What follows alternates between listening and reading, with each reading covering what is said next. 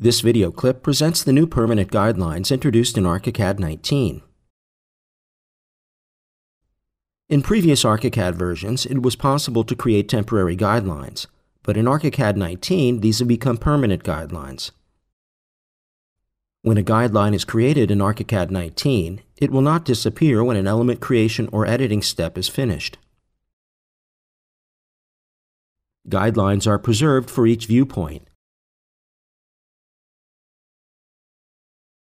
so when you come back to the same viewpoint later, your guidelines will be there. Guidelines are also preserved between sessions. So if you save and close your project file, then reopen it at a later time. All guidelines will still be available in all viewpoints. As a note, this is also true in the case of teamwork projects. Guidelines are saved for each user separately between sessions.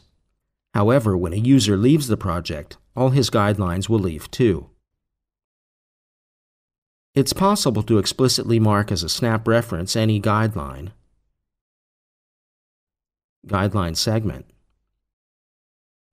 guide circle, or guide arc and temporary snap guides will be offered by ArchiCAD, just as in the case of any other snap reference element.